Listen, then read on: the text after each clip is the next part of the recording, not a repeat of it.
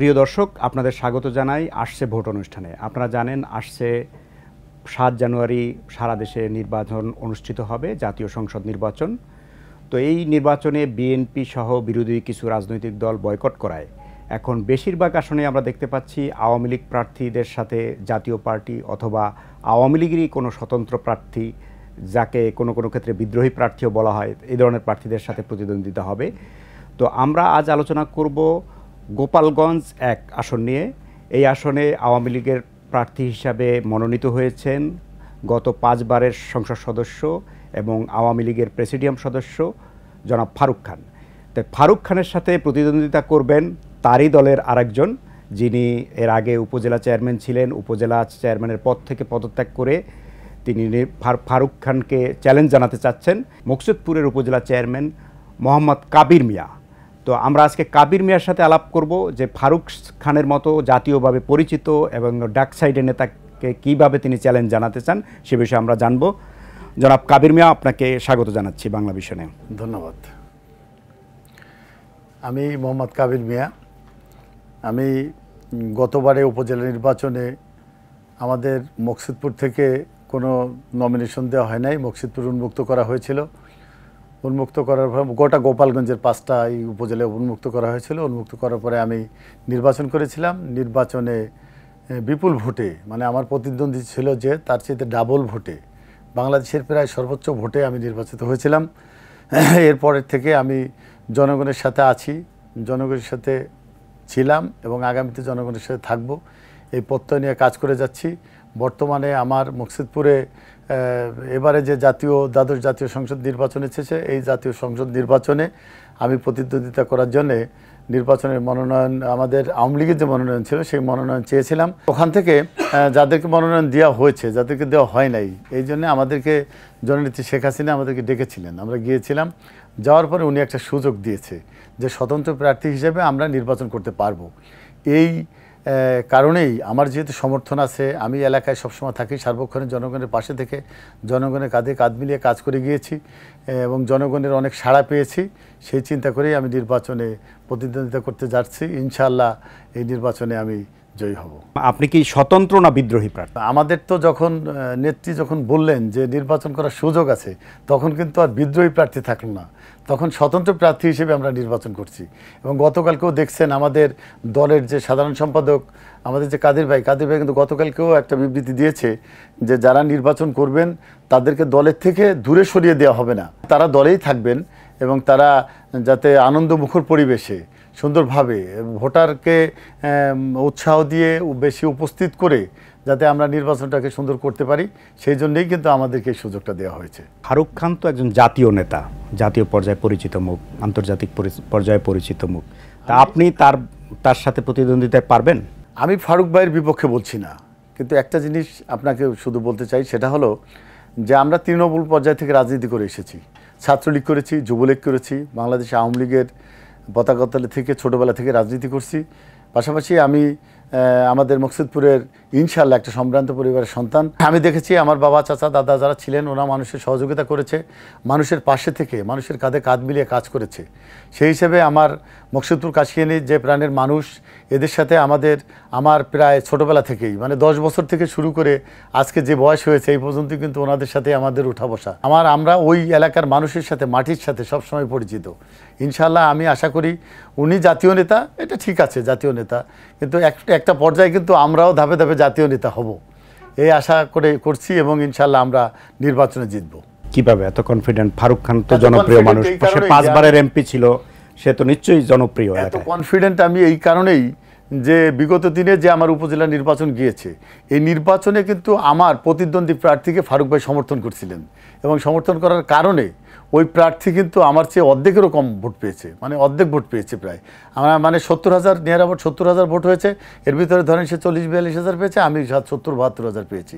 তার মানে নিশ্চয়ই ওইখানেও কিন্তু আপনার একটা ব্যাপক ব্যবধান রয়ে গেছে। এরপরের থেকে আমি যতটা মানুষের কাছে গেছি, উপজেলা চেয়ারম্যান হিসেবে কিন্তু আমার আগে মানুষের সাথে যতটা টাচ ছিল, উপজেলা চেয়ারম্যান হওয়ার পর তার চাইতে দ্বিগুণ, তিনগুণ, পাঁচগুণ আরও সম্পর্ক বেড়ে গেছে। এই কারণেই আমি শিওর হয়েছি যে ইনশাল্লাহ ওনার সাথে আমি প্রতিদ্বন্দ্বিতা করে জিতবো। আপনাদের ওখানে আর কয়জন প্রার্থী আছে? আবার ওখানে জাতীয় পার্টির প্রার্থী আছে আমার ওখানে তৃণমূল বিএনপির যে আছে ওনারা আছেন আরও যে দু একজন আছেন অন্য অন্য দলের থেকে তারা তো আমাদের মকসিদপুরে মকসিদপুরে আমরা যারা আছি তারা এর আগে পরে যা দেখেছি প্রায় সাতানব্বই থেকে আটানব্বই ভাগ লোক আমরা হলো আওয়ামী লীগের। সুতরাং আমি ছাত্রলীগ করেছি যুবলীগ করেছি আমলীগ করছি এখনও করছি। সেই হিসাবে প্রতিদ্বন্দ্বিতা আমার আমাদের ফারুক ভাইয়ের সাথেই হবে। তো আপনি কি নির্বাচিত হবেন? এটা কি সরকারের পক্ষের ভোটে নাকি সরকার বিরোধী ভোটে নির্বাচিত হতে আমার মকসিদপুরে আওয়ামী লীগ বিরোধী কোনো ভোট নাই। কিন্তু আমার মকসিদপুরে আমি ফারুক খান বিরোধী ভোটে নির্বাচনে জিততে চাচ্ছি ইনশাল্লাহ সেটা জিতবো ফারুক খান কি জনপ্রিয় না? এখানে কি আমি যেহেতু নির্বাচন করছি সেই হিসেবে আমি মনে করি যে আমাদের দেশে এমন একটা অবস্থান। আমাদের দেশের অবস্থাটা এমন যে একটা মানুষ একবার, দুইবার, তিনবার, পাঁচবার করে যখন নির্বাচন করে, তখন কিন্তু তার অপোজিশন তৈরি হয়। এরপরে যেটা, আমাদের দেশের মানুষ যেটা চায়, যে কথাটা আমি বলছি, সেটা হলো যে একটা মানুষ এখন কিন্তু ভাতের অভাব নাই, এখন কিন্তু কাপড়ের অভাব নাই, এখন কিন্তু টাকা পয়সাও একটা মানুষ ডেলি এক হাজার টাকা নর্মালি ইনকাম করতে পারে। একটা মানুষ কি চায়? একটা মানুষ চায় তার সুখ দুঃখে আমি পাশে থাকি, তার কাছে থাকি, তাকে সময় দেই, এইটা কিন্তু মানুষ চায়।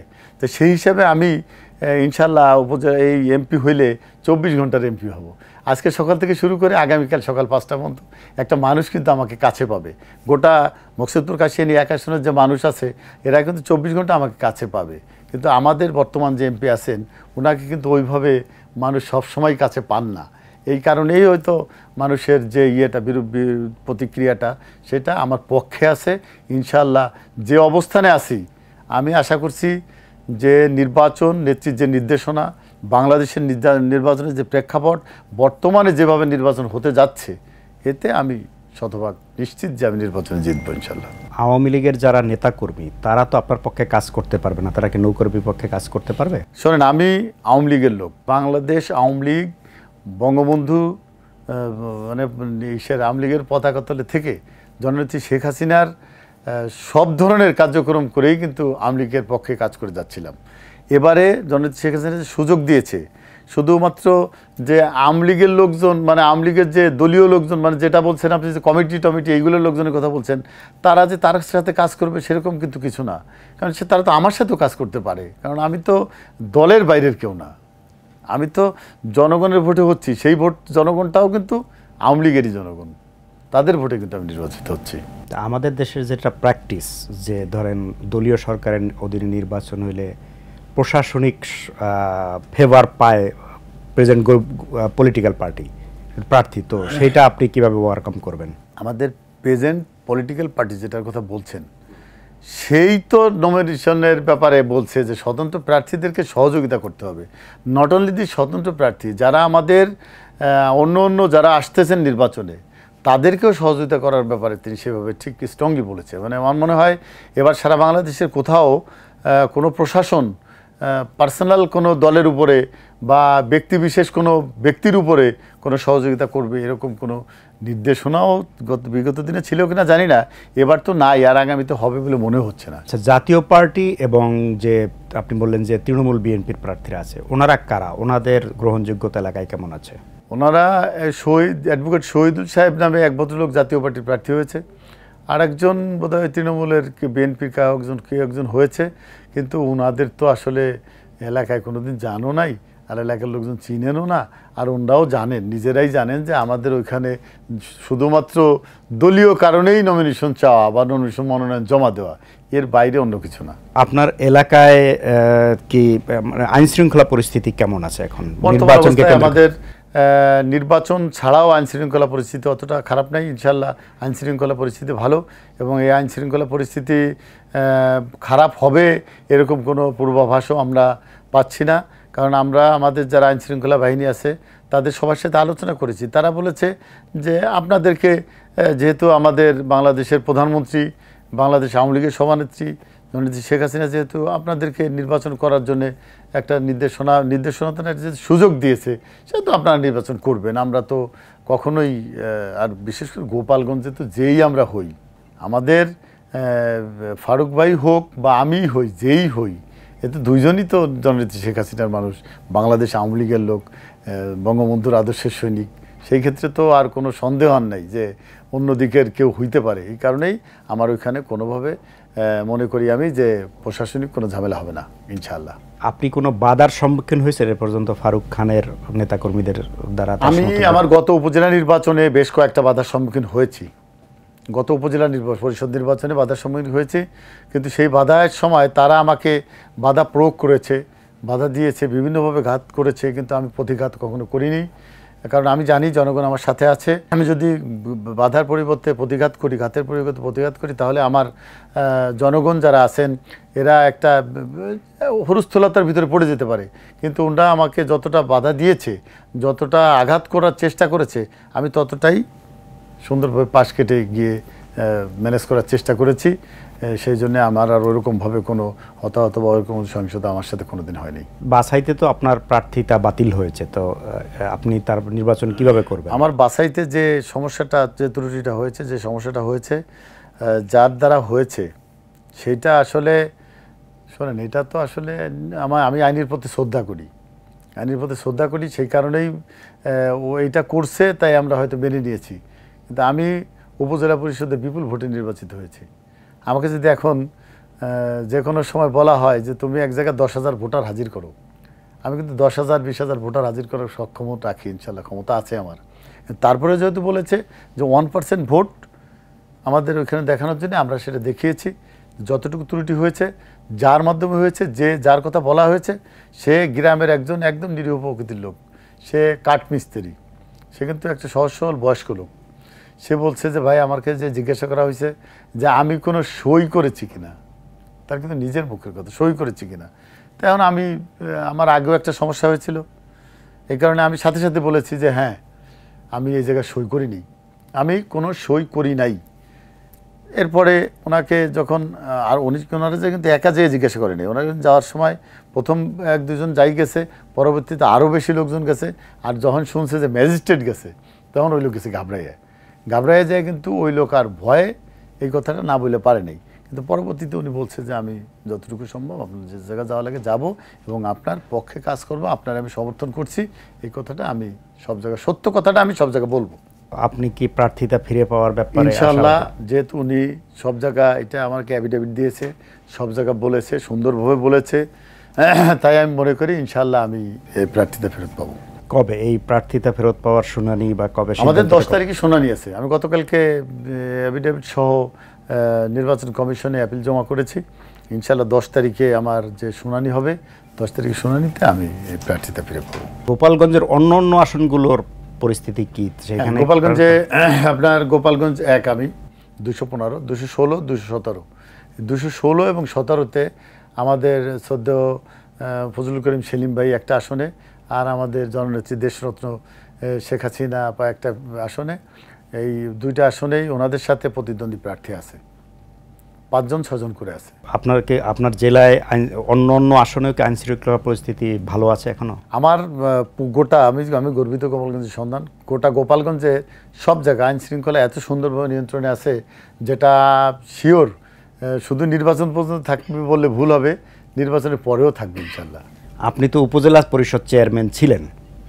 এমপি হতে চাচ্ছেন কেন? সংসদ সদস্য হতে চাচ্ছেন কেন আপনি? শোনেন, আমার মকসুদপুরের যে জনগণ, সেই জনগণের আশা, সেই জনগণের আকাঙ্ক্ষা যে আমি কাবির মিয়া, আমি এমপি হই, আমি এমপি হিসেবে তাদের পাশে থাকি, তাদের সুখ দুঃখে যেভাবে বিগত দিনে ছিলাম বর্তমানে যেভাবে আছি আগামী দিনে যাতে আরও সুন্দরভাবে তাদের পাশে থেকে তাদের কাঁধে কাঁধ মিলিয়ে জননেত্রী শেখ হাসিনার হাতকে শক্তিশালী করার জন্য কাজ করে যেতে পারি সেই কারণেই এই জনগণের জন্যই আমাকে এমপি হতে হচ্ছে। বাংলাদেশের রাজনীতিতে আমরা অনেক জায়গায় দেখা যায় যে নির্বাচনে জেতার জন্য পেশি শক্তি দরকার হয়। আপনার কি সেরকম শক্তি আছে? নির্বাচনে পেশি শক্তি কারা?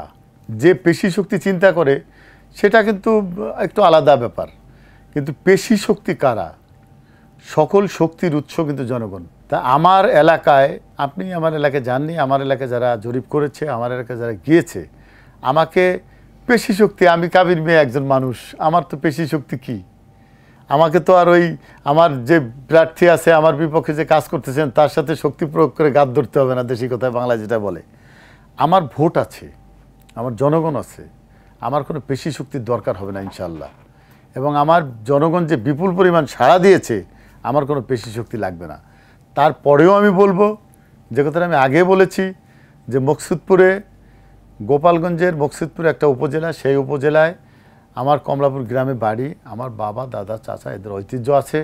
ইনশাআল্লাহ ওদিক দিয়েও আমার কোনো কমতি আছে বলে আমি মনে করি না। ভোটে যদি কারচুপির চেষ্টা করা হয় সেটা প্রতিহত করার সক্ষমতা আপনার আছে? শোনেন এবার ভোটে নেত্রীর যে নির্দেশনা বাংলাদেশের প্রেক্ষাপটে যেটা আছে জননীতি শেখ হাসিনা যে কাজ করেছে সারা বাংলাদেশের জন্য এবং বাংলাদেশের যে উন্নয়ন করেছে, সেই হিসেবে আমি যেটা মনে করি যে অবশ্যই কোনোভাবে কোনো প্রশাসন আমাদের বিরোধিতা করবে না এবং কোনো প্রশাসনের বিরোধিতার কারণে আমাকে ওই জায়গায় পেশি শক্তি অ্যাপ্লাই করা লাগবে না। কারণ আমরা যেই হই, আমি যে কথাটা বারবার করে বলছি যে আমি নির্বাচিত হলে অবশ্যই সেটা কিন্তু জননেত্রী শেখ হাসিনার প্রার্থী নির্বাচিত হওয়া আমি মনে করি। সেই হিসাবে আমাদের ওখানে কোনোভাবেই কোনো পেশি শক্তি বা কোনো রকম প্রশাসনিক কোনো ক্ষমতার অপব্যবহার সেটা আশা করতেছি আমি ইনশাল্লাহ হবে না। মানুষ যদি আপনাকে ভোট দেয় সেটা আপনি রক্ষা করতে পারবেন বলে মনে করছেন? মানুষ যদি আমাকে ভোট দেয় শোনেন জনস্রোত নদীর স্রোত জোয়ার আসলে খড়কুটোটা কিন্তু এমনি ঠেলে নিয়ে চলে যায়। আমি মনে করি যে আমার যে জনস্রোত আছে আমার যে জনগণ আছে তারা এমনভাবে কাজ করে যাবে যার যারটা শেষে রক্ষা করে নেবে নিশ্চিত ইনশাল্লাহ ধন্যবাদ মোহাম্মদ কাবির মিয়া আপনি দীর্ঘ সময় বাংলা মিশনকে দিলেন। ধন্যবাদ বাংলা ভিশনকে। আমি এবং আমার গোপালগঞ্জ এক আসনের জনগণের পক্ষ থেকে আপনাদের বাংলা ভিশনকেও ধন্যবাদ জানাচ্ছি। এবং আপনারা আমাকেও যে সময়টা দিয়েছেন এর জন্যে আমি খুব হ্যাপি প্রিয় দর্শক, আপনাদেরকেও ধন্যবাদ জানিয়ে আজকের মতো শেষ করছি। আবার শীঘ্রই দেখা হবে কোনো এক বিশিষ্ট মানুষকে নিয়ে। সে পর্যন্ত সবাই ভালো থাকবেন এবং বাংলা মিশনের সঙ্গেই থাকবেন।